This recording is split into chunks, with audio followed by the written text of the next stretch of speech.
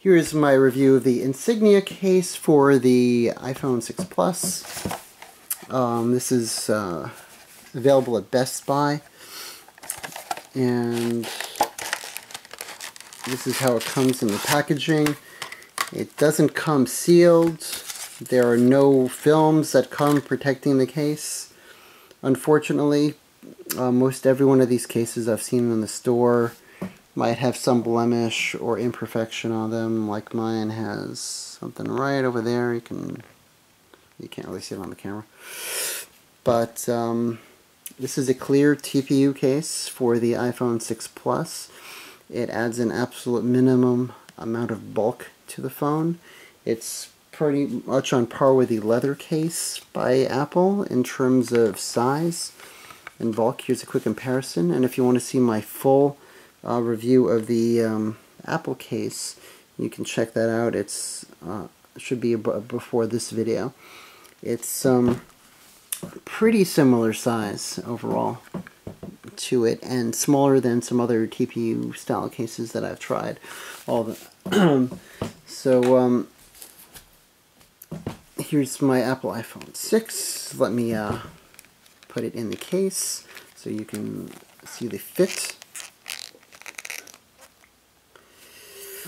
And uh, first thing you'll notice relative to the Apple case is this gives you more protection stretching around the bottom of the device. It, it's a full wraparound and it has a cutout for the lightning port, for the speaker port, for the headphone jack and microphone. Um, you have a lay on the table design, although it's fairly minimal, although maybe the tiniest bit better than the Apple case, but it's pretty much the same. Um, you have a cutout, which gives me adequate space space for the volume rocker, for the mute switch, I mean, and you and it covers the up and down volume rockers and the power switch. Although um, I do have a tactile feel of the um, button, although it still could be a little bit better. It's not too bad it, a feel. Um, although it is noticeably harder to press, especially this power button, uh, through this rubber case. I don't know if that would improve more so through time, but it is noticeably more difficult to use the power button through this case than bare or through the leather case. Um, it doesn't feel as bad using the volume buttons, but they're a little bit larger. You also you get better leverage using this with your thumb than your finger here. Um, so the cutouts are absolutely perfect in shape. Over here, it absolutely perfect, adequate space. Although this might be a little bit of a tight fit for some headphone jacks, depending on how big the jack is. Um, you, I find that I have adequate room for the mute switch. It is good, it is not too deep, it is easily accessible. you have uh, good protection for the camera, which protrudes. So, put the case on, as you see, you cannot see the camera.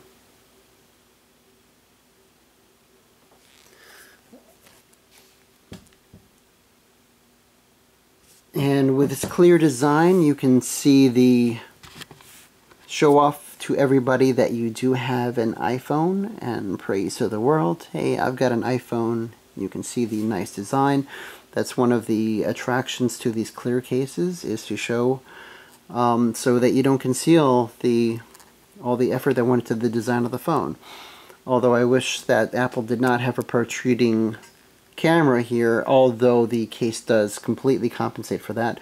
So you don't have to worry about the sapphire glass shattering if you had a backward facing impact. Uh, sapphire may be scratch resistant, just like diamond, but these things are not shatterproof. So that is a very, very big plus, having that there. And of course the very minimalistic lay on the table design, although you might run into trouble if you drop this on an, a very uneven surface or a surface that has pebbles. you could run into trouble there. Um, also the minimalist design in terms of adding the least amount of bulk possible also comes at the sacrifice of less durability in a drop because um, some other TPU cases I've seen, like called air cushion and other stuff, they have extra thickness on the sides, a little bit of extra thickness up on top and bottom. Um, but what that does for you is if you drop it, the case will li literally bounce a bit. You'll have more protection in a drop. Although I would rather have the slimness, and I'm generally very careful not to drop my devices. So I'm not too worried about it. Although I might want to get a more durable case that's better for drops in the event that I might be going in a situation that's more at risk. And um, the sides, uh, some people commented like on uh, the in, in Spigen case that these uh, side lips are not as tight as they could be and when they press it in uh, it's well it, it gives. But these on this insignia case it fits absolutely perfectly. It's tight it's snug against the sides no problem at all. Um, my only real gripe my main gripe about this case is that bubble that you see by the Apple logo.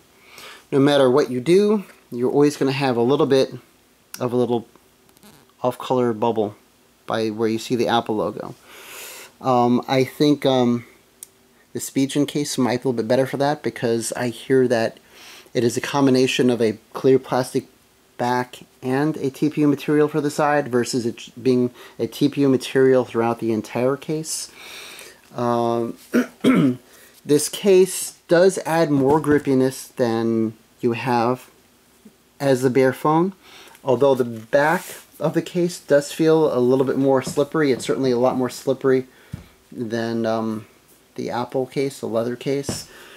And um, you don't have a perfectly smooth side here. You can feel a little bit of a rib uh, from the, I guess, the molding process. That is uh, when they create these cases. You see that line running down the side of the case. You can kind of feel that. It's a wee bit rough, although I'm sure over time it might soften up a bit as you're handling it more. It's really not such a big deal or a bother but it's something that you can feel a bit. Um, I know that there's some cases, clear cases that aren't, that don't have a rib like this, that are more smooth. So that's another thing to consider. Um, this is not, excuse me, not very tacky. It's easy to get in and out of a pocket, which I'll show you right now. So, my jeans pocket. in nice and easy no problem out in the hand so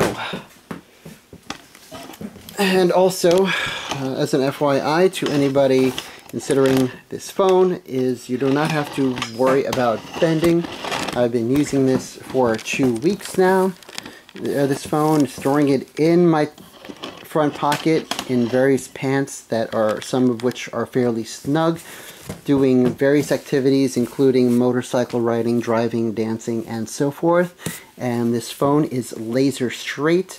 You will absolutely not bend your uh, phone by virtue of it being in your front pocket. There are not enough stresses possible that could cause it to bend just by virtue of it being in the pocket alone without some sort of outside force exerting pressure on it. For example, if you had it in your pocket and let's say you're playing pool and you have it in your pocket and let's say you're leaning against the table and, and like really hard, maybe you'd cause a very slight indentation in the device possibly depending on how much you lever against something like that. But I would say that uh, common sense would prevent most people from leaving their phone in their pocket, their front pockets while they're doing something like playing pool or in a in situation where they would leaning be leaning their pants against a hard surface, which would put pressure against any device in their pocket. So uh, would not worry about bending at all. Again, for your phone. So that's fine. And I like this case a lot overall. Yeah, a little bit iffy about the uh, that little bubble there. It's not the worst thing in the world. This case was only $15 at Best Buy. And uh, and an alternative to this would be uh, the Spigen case, which is $12 on Amazon. So, uh, anyway, that's about it. I hope you enjoy the video. Please like and subscribe.